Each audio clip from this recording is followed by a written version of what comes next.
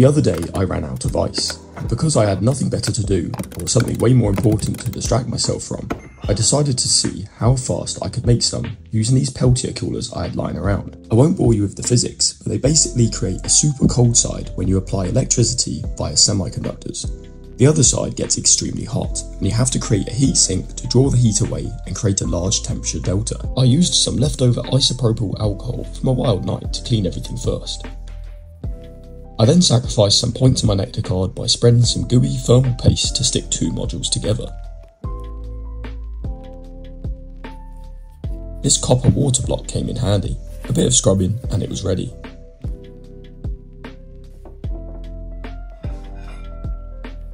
I used this PC water pump to push distilled water through a large radiator after the block and a high static fan to draw all of the waste heat away from the module.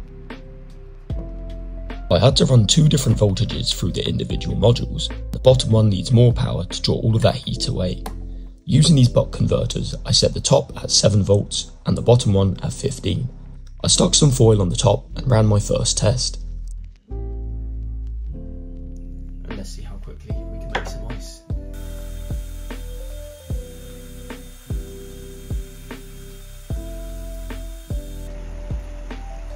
There we go.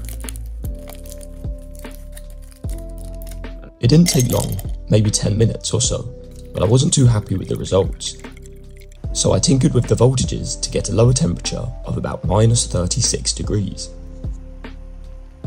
Using skills of which resemble a professional heroin addict, I manipulated some foil into a flatter base for a better interface. Watch how fast I turn this water into a nice hockey puck, I guess.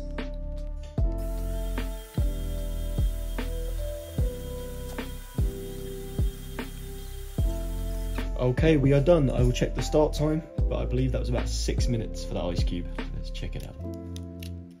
Oh, that is too cold to touch. So I failed at making instant ice. I'm not even sure that's possible with this technology, but it's a lot faster than my freezer.